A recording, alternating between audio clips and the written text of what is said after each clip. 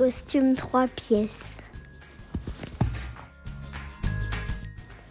Mexico a très mal dormi pendant la nuit. Le lendemain matin, il fait plein de bêtises. Il renverse un pot de peinture sur les mains et sur le bras de Coca.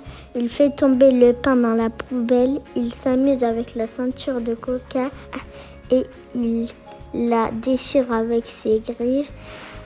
Enfin, il jette un soulier de Coca en plein dans le bain qu'elle a fait couler. Maintenant, Coca commence à en avoir assez. Elle tape des pieds. Elle crie très fort. Elle va même chercher sa canne pour taper sur son vilain chat. Vilain grédin, non. Je vais te casser ma canne sur terrain. Hein? Tu es folle? Sauvé.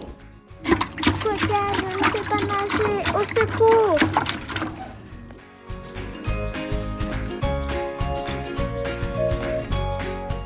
C'est son premier bain.